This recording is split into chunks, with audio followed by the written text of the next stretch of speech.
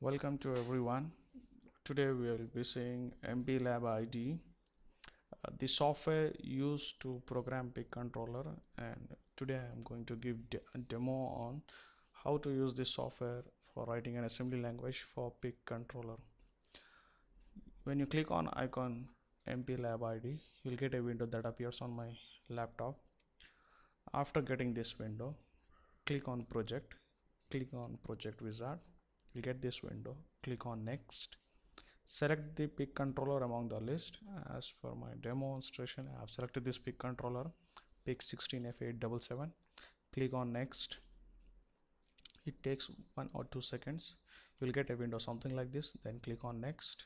Then create a project file name or a path that you would like to use.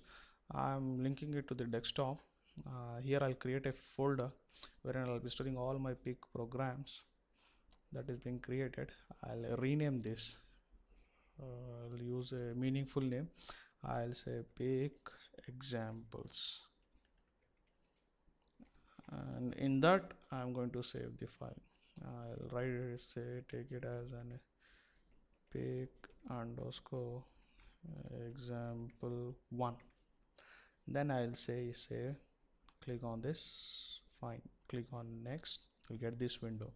Now here go to C drive. There you will get a folder by name program files. Click on that. You will get in this a folder by name microchip. Just find it out. Left side. Yeah here you got it. Click on this. You will get this windows. In this click on mp asm suite now here click on templates. In MPASM suite you will get these folders. Click on object in this you click on or select the controller that we have selected. Uh, as per my choice I've selected PIC 16F877 so PIC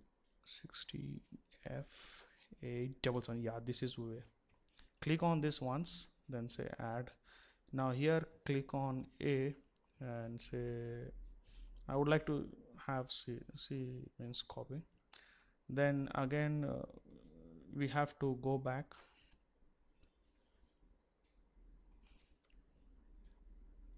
and uh, click on LKL LKR means linker. Now here again click and select the file related to PIC 16F877 so here I got it. Then say add click on this make it C. Yeah.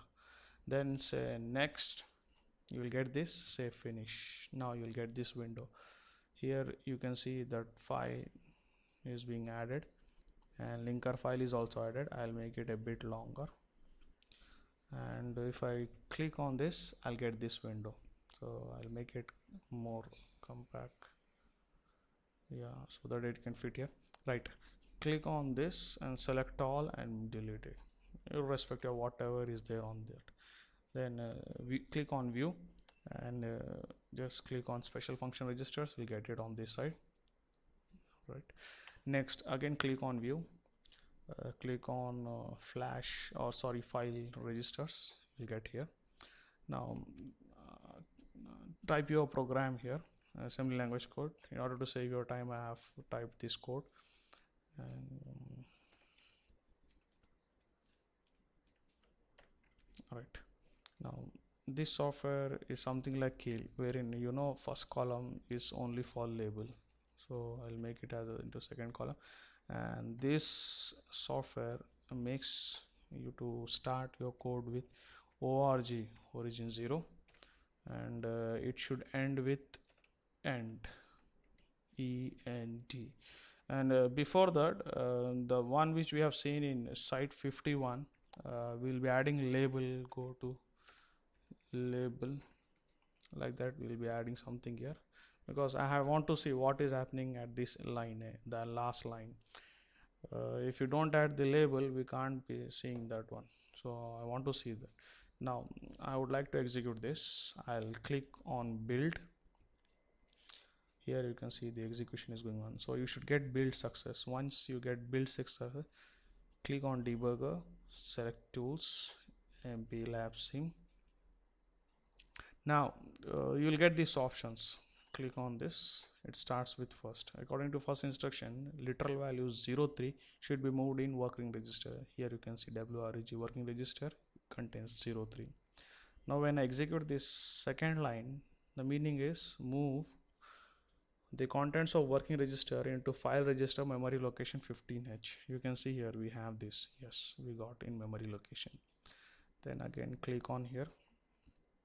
Literal value 02 will be moved in working register. Yes we got it here. Then again click on that. The 2 will be moved in 16h of file register.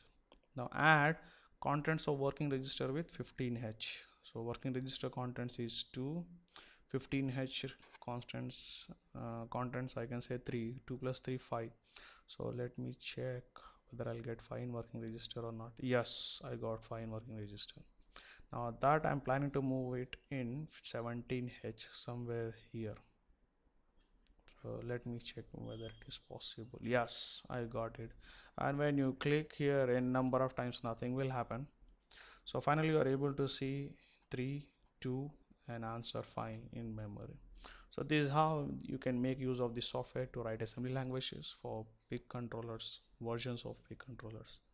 Thanks for your patience I would appreciate the feedback on my email ID or any comments on the YouTube. Thank you.